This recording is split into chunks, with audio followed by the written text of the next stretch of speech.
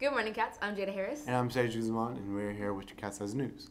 Starting off sports, yesterday the girls softball team beat North Central 8 to 7. Great job, girls. The boys baseball team also beat North Central. They play North Central again today at North Central. Great job and good luck. The Wildcat golf team will start the season next week on Monday, April 12th against Park Tudor and Lawrence Central. The Lawrence lacrosse team started the season off prior to spring break, beating Whiteland 18 to 1.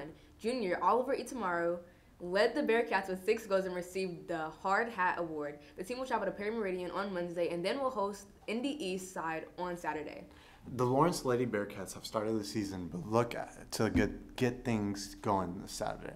The Bearcats will travel to Roncalli on Saturday to take on Charleston, and then will host Plainfield on Monday, April 12th. The defending sectional champ- champs will start the season on Wednesday, April 14th at Noblesville. The Wildcats will be road warriors this year. The Ellen Tennis facility is being renovated this spring and summer. There's an amazing opportunity this summer that is offered to you by Ball State for 9th through 12th grade students.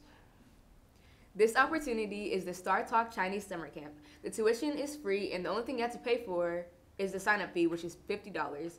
This offers a unique opportunity for high school students with little or no formal learning of Chinese to immerse themselves in culturally rich and academically stimulating programs. If juniors and seniors take it as a dual credit course, they can earn three credits for both high school and college.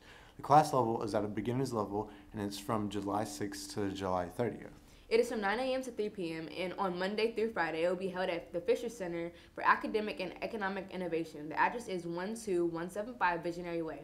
The application deadline is on May 21st. For more information, please contact the email in the description. Only the first 20 applications are accepted, so apply quick if this opportunity interests you. We will be right back after this short commercial break with Isaiah King. We're gonna have a high of 66 and low of 54. It's currently 58 degrees. After school it's gonna be 76 and before school tomorrow it's gonna be 58 degrees. As you see for the rest of the week it's gonna be in the 70s and 80s with Wednesday being the highest day of the week at 80 and Sunday being the coldest at 61. And that's all I have for you today. Have a good rest of your day and go Cats! Welcome back. As you all know, we have our officially shifted over to in person for four days a week. You guys may notice the construction crew in starting to work on our building, which means changes. And by changes, we mean entrance and exit changes. We will no longer be going through door 11. Instead, we'll be going through entering and exiting through door 14. Students will get on the MCIT shuttles on the north side of the school. Also, if you are 16 or older, you are now eligible to get the COVID shot. If you're still upset about the mask mandate, think about this. We are way close to being back to normal. Halfway there, 25% there. I don't know, but hey, we are getting there. Prom 2021 is happening, and this is something you do not want to miss. It is on May 14, 7 p.m. to 10 p.m. It will be at Daniel's Family Vineyard. It will be juniors and seniors only. The tickets will be $30 in cash or in check with valid student ID in the Media Center from 11:30 to 2 p.m. Each of these dates below, seniors can purchase a ticket April 26th through April 29th.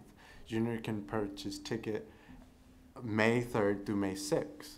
That is all we have for you guys today. Have an amazing day and, And go Cats.